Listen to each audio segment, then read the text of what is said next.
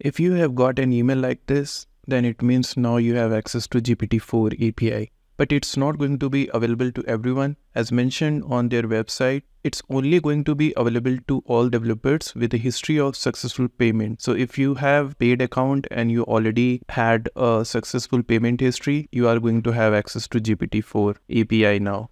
And under GPT-4 also, there are different models and same thing they have mentioned over here like GPT-4 is currently accessible to those who have made at least one successful payment through our developer platform. So if you are using a free account and calling all these API, then this GPT-4 API is not going to be available to you. You need to have a paid account and you must have had at least one successful payment. So under GPT-4, there are different uh, models, GPT-4, then 0613, 32K and 32K0613. But as of now, the access is available to only GPT 4 with 8k context. So when they say 8k context, it's like we can take around 8000 tokens and process it. And how can you check whether you have a paid account or not? So you can just go to OpenAI platform and then you have to click on manage account. And once you click on the manage account, you will come over here and under billing section you can go to overview and you should be able to see something like this. If you are getting cancel paid account it means you have already enabled a paid account and you must be using all those apis you must have had some successful payment in the past. If you are not seeing this option, then it means you are still using a free account and you won't be having access to GPT-4 API. So I have written a simple code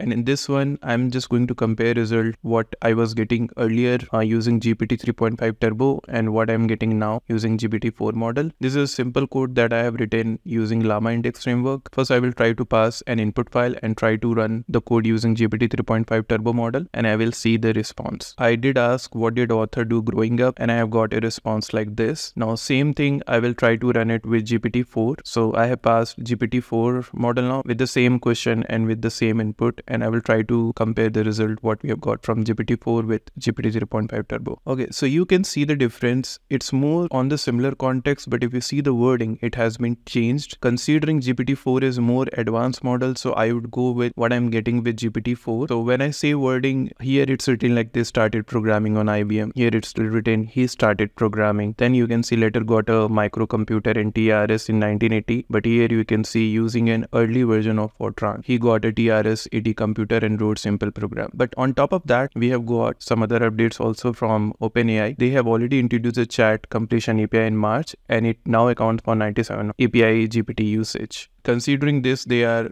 going to move from this test completion API to chat completion API. So this is one of the point. Another point what they have highlighted, deprecation of older models in the completion APIs. Earlier we had all this model, Ada, Babbage and all these things. They are going to move to their advanced version. So Ada is going to move to 002 and DaVinci is also going to move to 002. All these models are going to move to GPT 3.5 Turbo Instruct. So and the timeline for this migration is going to be Jan 4 2024.